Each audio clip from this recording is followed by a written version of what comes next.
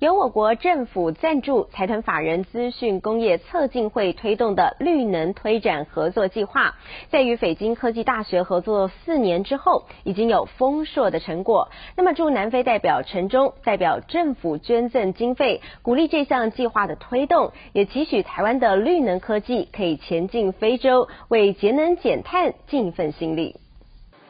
为了协助南非发展绿能产业，外交部资策会与南非北京科技大学合作推动校园绿能发展合作计划，连续四年来成果丰硕。为了让这项计划能持续进行，资策会特别赞助八万美元给校方，由驻南非代表陈忠代为转赠。启用了这个计划是第四个计划，那么这个四个计划呢，总的来说就是应用我们已经发展的这个。太阳能的科技啊，LED 灯，还有我们这个 T 呃 Triple I 智策会所发展的这个节能省电系统啊，智慧电网系统，整个加以结合，那么这个能够在 TUT 在这个大学里面呢，呃，作为一个呃模范，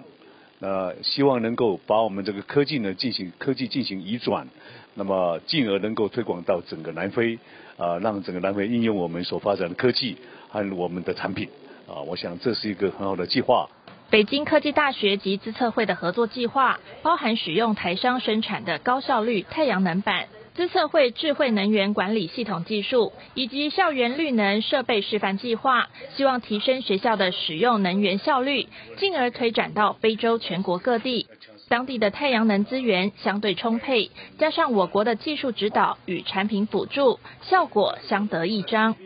那在这个合作里面啊，我们双方都是把最好的、些好的技术啊、好的合作的精神拿出来，以至于说这四年不管是在啊室内啊的 LED 灯，在太阳能的运用啊与市电的互补的啊一些呃这个呃运用，还有就是在呃。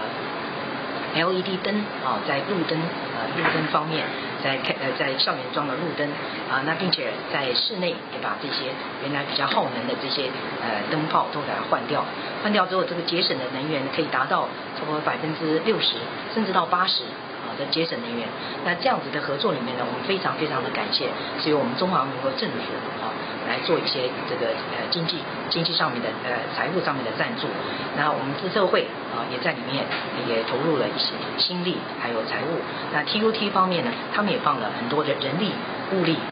北京科技大学是于二零零四年由三所科技大学合并成立，共分六大校区，有六万多名学生。目前是南非最大的科技大学。台湾对南非的太阳能市场前景看好，透过我国政府与校方的合作推广，节能减碳成效显著。对于在非洲执行绿能推广计划，有向前迈进一大步。台湾宏观电视苏展庆，南非约翰尼斯堡采访报道。